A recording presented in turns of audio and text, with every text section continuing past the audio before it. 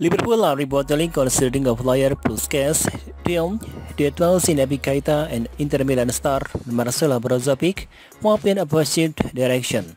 Keita has helped to live up to expectation during an injury hit by Pierre on middle side. He's enjoyed the final six months on his deal with the club side. Guinea International is currently free to talk to foreign club and saw his not change in the coming month. He will leave on a free transfer at the end of the season.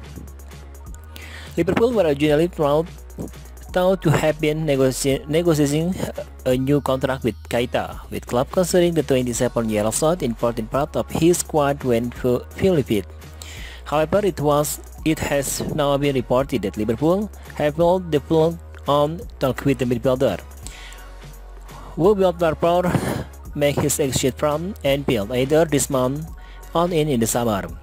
Red Brand lost the 52 million pounds man for nothing in the summer. Calcio Mercato claimed that Liverpool could try to negotiate a part exchange deal with Inter Milan for the signing of Marcelo Brozovic. The Croatian international Peter was also being called into question last year, but he ended speculation by signing a new deal with the Nerazzurri until 2026.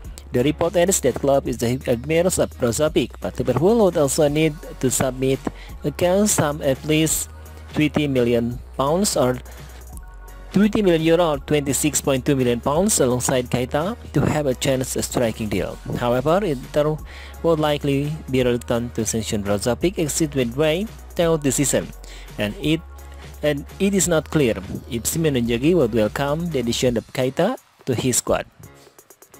Brozovic initially joined Inter on loan from Dinamo Zagreb in, in January 2016 before making his move permanent this that summer. And he has registered 20 goals and 27 assists in 302 games for the club's son.